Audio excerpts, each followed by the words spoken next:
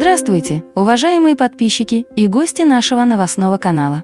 Мы рады, что вы с нами. Итак, начнем.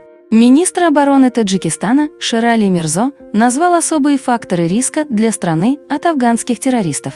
Министр обороны Таджикистана отметил, что стабильность Центральной Азии во многом зависит от политической и военной ситуации в Афганистане. Ширали Мирзо напомнил, что движение «Талибан» уже контролирует северный и северо-восточный Афганистан. Если до недавнего времени присутствие иностранных войск позволяло поддерживать баланс и контролировать военно-политическую обстановку, то их вывод усилил подрывную деятельность террористических организаций, сказал министр. Во время пресс-конференции с российскими и узбекскими военачальниками он сказал, что присутствие террористических сил у границы требует координации со стороны стран региона. Активные террористические организации в Афганистане превратились в организованную структуру с армией, оснащенной современным оружием, и определенной стратегией действий, что особенно опасно для стран региона, сказал министр обороны Таджикистана Ширали Мирзо.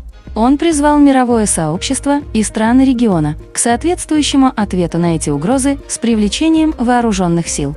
Отметив, что Таджикистан и Узбекистан имеют общую границу с Афганистаном, таджикский полковник подчеркнул, что силы двух стран находятся на форпосте для борьбы с террористическими угрозами. Он также подчеркнул важную роль России, в том числе 201-й военной базы, в обеспечении региональной безопасности. Таджикский полковник назвал успешными совместные переговоры с Узбекистаном и Россией, состоявшиеся 10 августа у афганской границы, и добавил, что все задачи, поставленные перед военными, выполнены. Он считает, что вооруженные силы стран способны отреагировать на любую угрозу. Подпишитесь на наш канал, поставьте лайк, жду ваших комментариев. Спасибо, что вы с нами.